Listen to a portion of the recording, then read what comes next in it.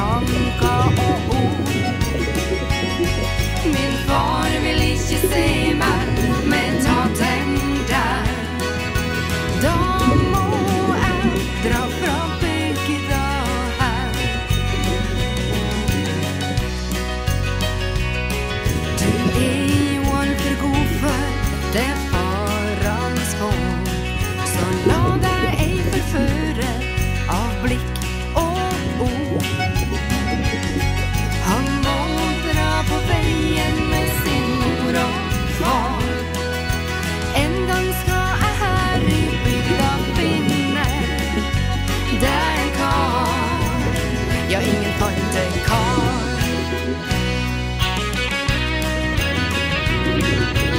Thank you.